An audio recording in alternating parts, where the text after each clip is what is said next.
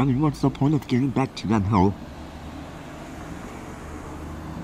She's literally for the streets, baby. There's always second chances, though. Yeah, but she's never loyal in the first place.